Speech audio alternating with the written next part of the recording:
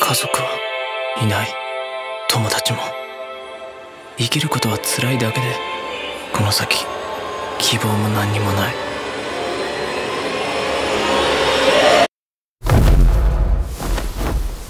天使。私はノッセ未来君だけの天使。新しい神様にふさわしい人を選ぶの。俺は死んで全部終わるはずだったのに。なんだこれ天使の？人は死ぬ。素敵でしょ？